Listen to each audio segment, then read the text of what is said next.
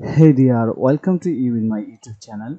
In this tutorials, I am going to show you how to show second product image on Hover in your Shopify online store.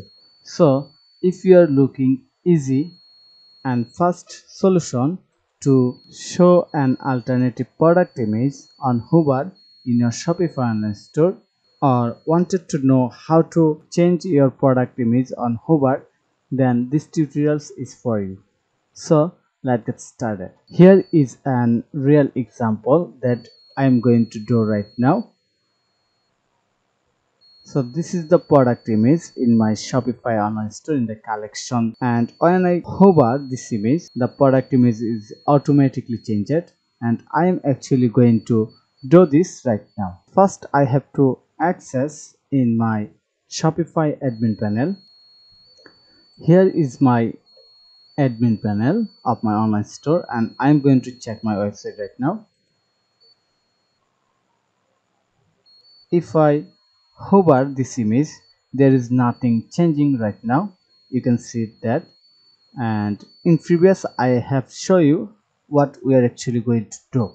So this is the real problem or real issue that when I hover this product image nothing has been changed or anything changed and we actually want to show second image or change this image or show another alternative image in the hover instead of the overlay.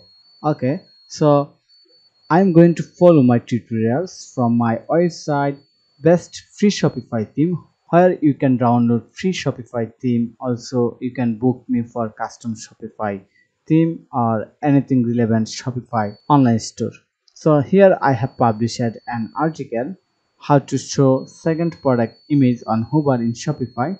So i'm going to open this one and here is the step-by-step -step details that i have to do.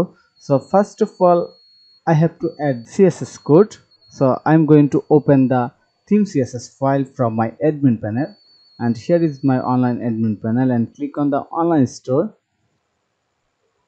Okay now click on the action button and open and pop up. From here i'm going to click on the edit code search css file. Just type css and here is the theme css file under asset folder. And i'm going to click on this file to open it. This file has been opened right now and I'm going to the scroll down and go to the bottom of this file. And very easily and quickly copy this code. And add this code right here. So just paste it and click on the save. We have done the first step. And now i'm going to scroll down of these tutorials I have to add snippet code. I'm going to open the product card liquid file where I have to open this snippet code. So I'm going to copy this file name and search in the search box and here is the file that I am looking and click on it so that I can add my code okay in this file I'm going to select all and remove everything. Then just copy this code and paste it right here.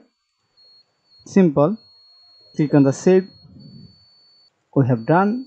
Now I'm going to refresh my browser. Wow. It's working. And when I hover this image the product image has been changed or we can see the alternative image right now or second image. So thank you for your time to watch this video. If you think this video is helpful then click on the like button and subscribe to my channel. And if you need any service then don't forget to contact with me. Have a nice day. Bye bye